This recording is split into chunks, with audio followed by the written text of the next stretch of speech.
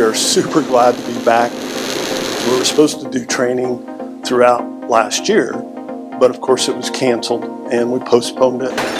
So we're starting back up our welding and CNC training with our DOC students. We uh, started training with DOC in 2018 and this was all created through an initiative that the governor challenged the IDOC to get training and skills for the offenders. And that's when we started the CNC and welding training.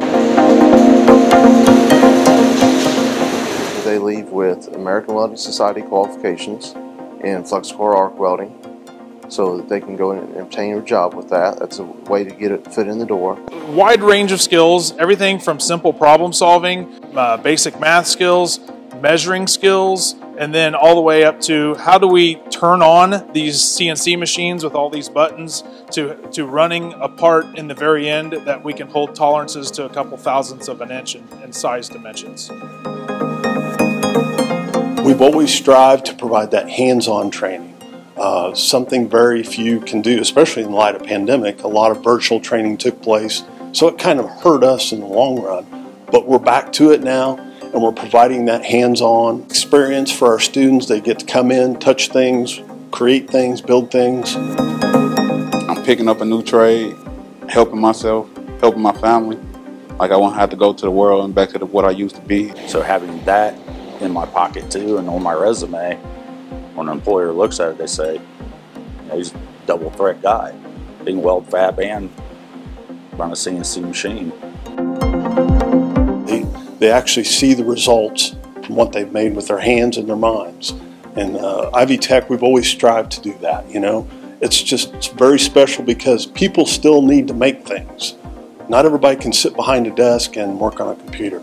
We really need people to make things, build things, build roads, bridges, things like that. Being able to use these machines, understand these machines, run them, operate them, maintain them, and, and produce good precision parts on these machines is, is crucial. They're wanting to learn. They're wanting that gainful employment when they're released.